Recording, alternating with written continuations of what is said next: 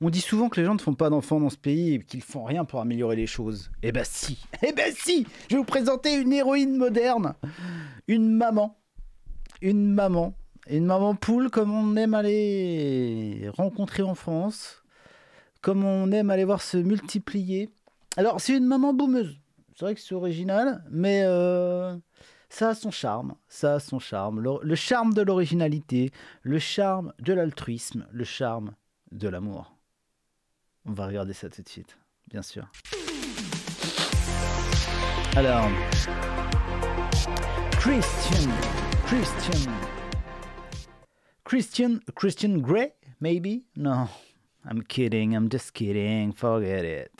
Allonville, Christiane se bat pour obtenir la régularisation euh, d'Abdoulaye, un clandestin guinéen sous le coup d'une OQTF qui loge chez elle. Il est même devenu officiellement son fils adoptif. Bravo, euh, Christiane, Christian Grey, yeah. Depuis fin décembre 2022, Abdoulaye Sow, un Guinéen de 25 ans, est sous le coup d'une obligation de quitter le territoire français. Quelle honte. Le pays des droits de l'homme. Des OQTF. Condamner les gens à aller euh, dans des pays où personne ne veut aller. On se demande pourquoi. Délivré par la préfecture de la Somme. Sa mère adoptive, depuis le printemps dernier, Christiane Helbeck, se bat pour le faire régulariser. Mais c'est bizarre, si c'est son fils, il devrait être euh, naturalisé automatiquement. Je ne sais pas. Sur la table de son euh, salon d'Alonville au nord d'Amiens, Christiane Helbeck regarde des quelques photos collées soigneusement sur des feuilles blanches rangées dans des pochettes plastiques. Des photos de famille, rien de plus classique, sur lesquelles figure Abdoulaye Sow, son fils adoptif. J'ai quatre enfants et là, c'est le cinquième, raconte Christiane, très émue.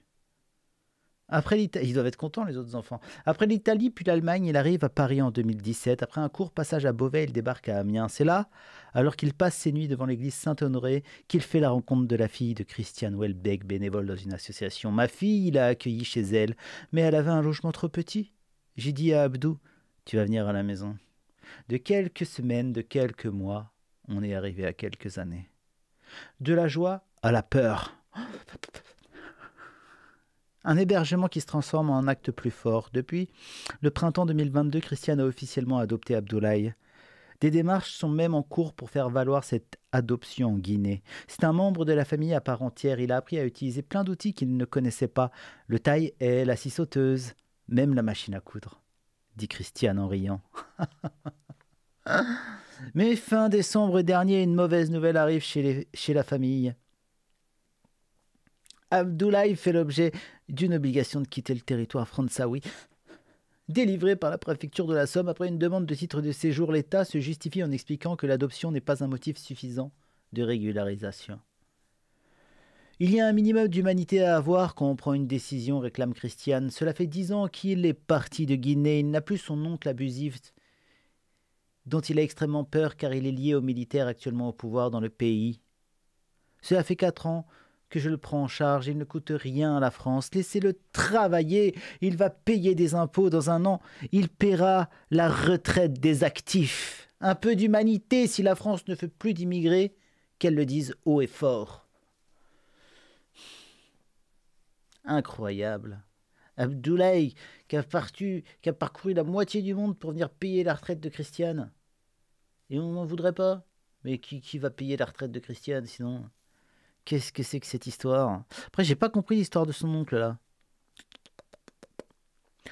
Il n'a plus son oncle abusif dont il a extrêmement peur car il est lié aux militaires actuellement au pouvoir dans le pays.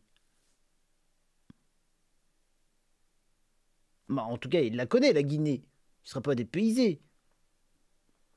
Hein, ça va. Il est né là-bas, c'est pas la fin du monde. Bah, a priori, oui, voilà, son oncle l'attend avec, euh, avec de quoi le corriger, j'imagine. Enfin bref, c'est un petit peu. euh, je sais pas, je comprends pas trop. En tout cas, vive la France, vive les belles histoires françaises modernes. Voilà. S'il y a des gens qui veulent plus faire d'enfants, bah Christiane a pris sa part. Elle en a eu 4, 5 maintenant.